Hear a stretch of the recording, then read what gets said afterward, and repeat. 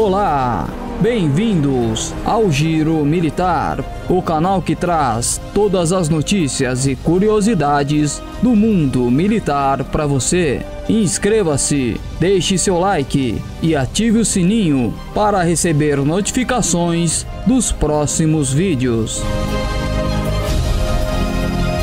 Reino Unido deve estar pronto para a guerra com a Rússia, diz chefe das Forças Armadas. O chefe do Estado-Maior de Defesa do Reino Unido, Nick Carter, disse que os militares terão que estar prontos para a guerra com a Rússia após as recentes tensões na Europa Oriental.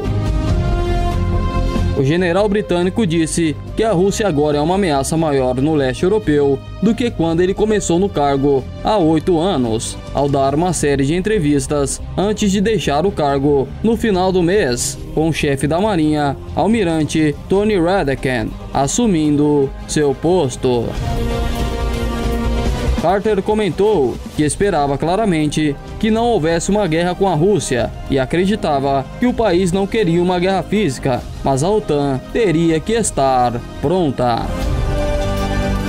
Em meio a tensões na fronteira entre a Polônia e a aliada da Rússia, Bielorrússia, Carter também falou sobre refugiados presos em campos, bem como sinais de que as tropas russas podem estar se aglomerando ao longo da fronteira com a Ucrânia.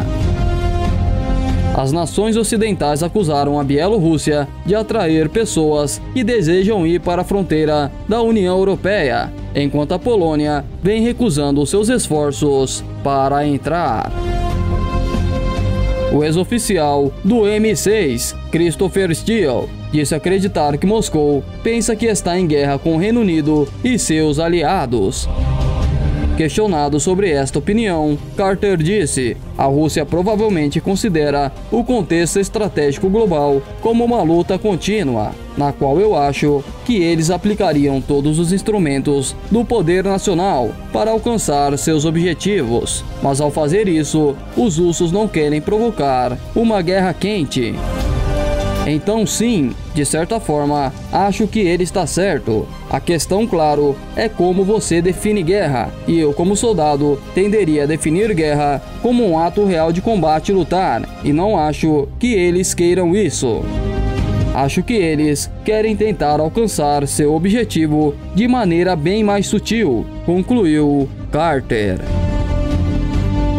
Mais tarde, ele disse que a Rússia estava em um manual híbrido, onde você vincula a desinformação à desestabilização. E a ideia de empurrar os migrantes para a fronteira da União Europeia é um exemplo clássico desse tipo de coisa.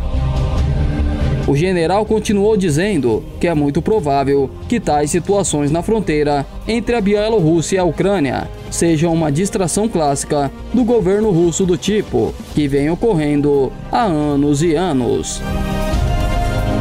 Questionado sobre se isso poderia se transformar em uma guerra de tiros, Carter disse: Não sei, acho que temos que estar em guarda e garantir que a dissuasão prevaleça. E criticamente, temos que garantir que haja unidade na aliança da OTAN e não permitamos que quaisquer lacunas ocorram em nossa posição coletiva.